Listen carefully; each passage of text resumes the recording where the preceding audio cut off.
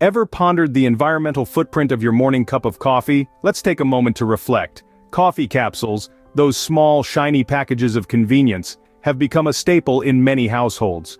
Quicker than a kettle, and easier than a cafetiere, they promise a perfect brew at the touch of a button.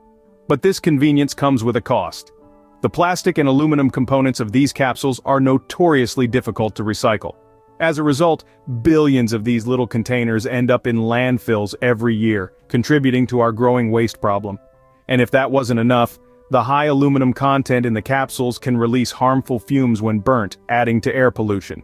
What's more, the production of these capsules requires a significant amount of energy, adding to our carbon footprint. And let's not forget the additional waste generated from the packaging and transportation of these capsules. So the next time you reach for that shiny little capsule, remember, convenience is king, but at what cost? But is the convenience of these capsules worth the environmental cost?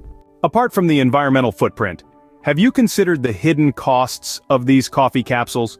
Let's delve into the financial side of things. Sure, coffee capsules are convenient and quick, but they come at a price. They're more expensive than buying coffee beans or ground coffee. And over time, those costs can really add up. Now let's talk about waste.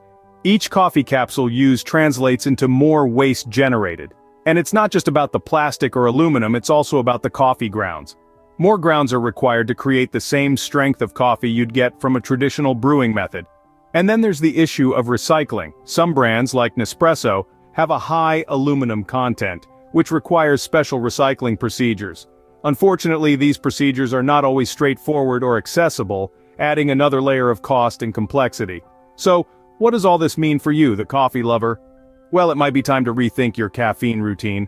So is there an alternative that can balance your love for coffee and the environment? There are more eco-friendly ways to enjoy your coffee without compromising on the taste or quality. Let's consider alternatives to coffee capsules, such as reusable coffee pods, French presses, and pour-over coffee makers. Reusable coffee pods, for instance, are a game changer. They reduce waste significantly as they can be used time and time again. Plus, they are cost-effective.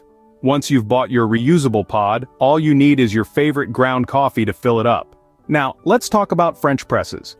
This classic method of brewing coffee is not only environmentally friendly, but it also often results in a richer, fuller-bodied coffee flavor. It's a win-win situation. And let's not forget about pour-over coffee makers.